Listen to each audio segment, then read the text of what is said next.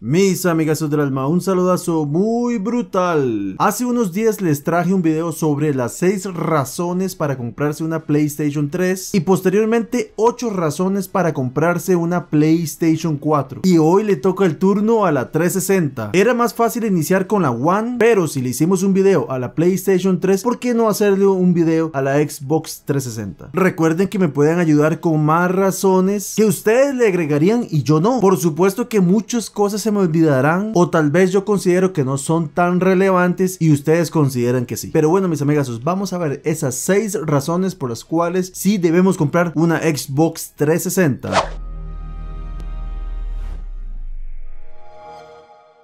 Bueno, iniciamos de una con su precio, que de hecho por supuesto es una de las razones principales o más importantes, porque esta consola se vende por millones de segunda mano y en ciertos lugares como por ejemplo los rastros en España las venden a precios de chiste mis amigazos, prácticamente regaladas. Pero mis amigazos recuerden que hay que buscar bastante bien porque se encuentran por miles o no sé si por millones en muy buen estado y libres del famosísimo anillo de la muerte. Y de una les digo, les recomiendo brutalmente la Slim. Aunque bueno, hay muchas versiones muy buenas. Una razón hiper importante en toda consola y lo que le da vida son sus juegos. Y la 360 está cargada de una gran variedad. Porque si está claro que tendremos los famosísimos Gears, Halo, Forza, o sea, sus exclusivos más famosos. Pero definitivamente la consola está cargada de una masiva variedad de juegos multiplataforma que van de lujo. Son versiones que en la 360 de verdad tienen un excelente rendimiento. Y además es una consola que le dio apertura y mucha fama a grandes juegos indie y eso es muy importante. Así que por supuesto en esta consola encontraremos mucha variedad, calidad y cantidad. A día de hoy los servidores online de la consola aún siguen activos y no hay fecha oficial confirmada para su cierre. Además sabemos que el servicio online de Microsoft es de mucha calidad y de demasiada estabilidad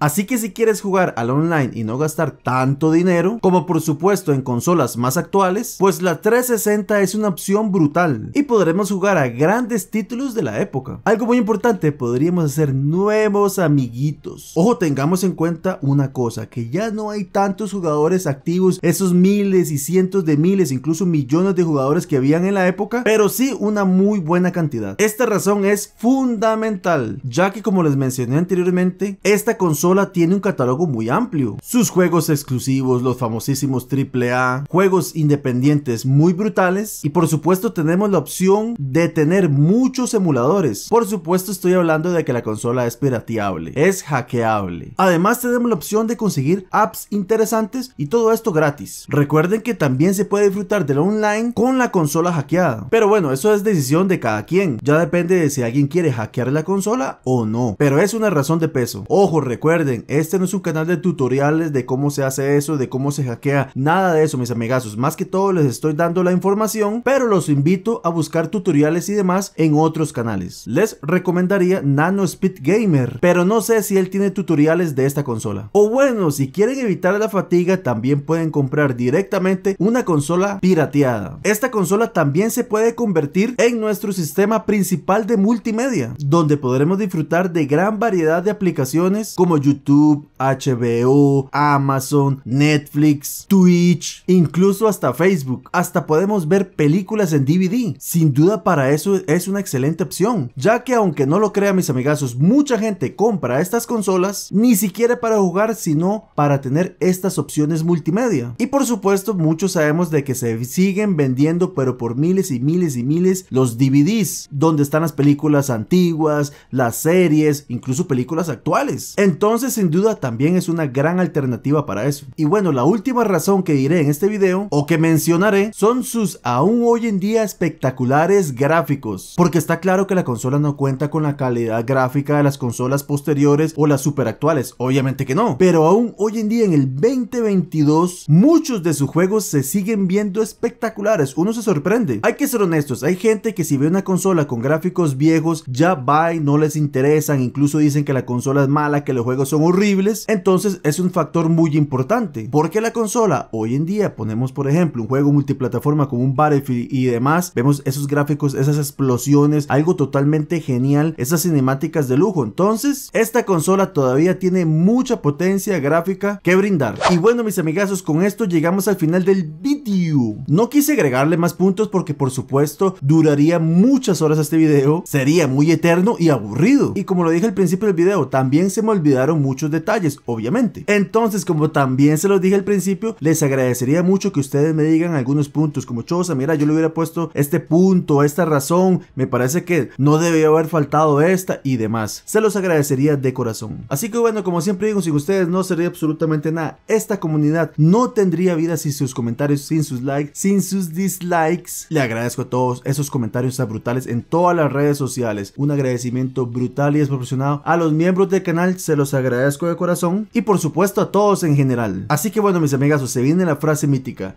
Viva la liga y pura vida.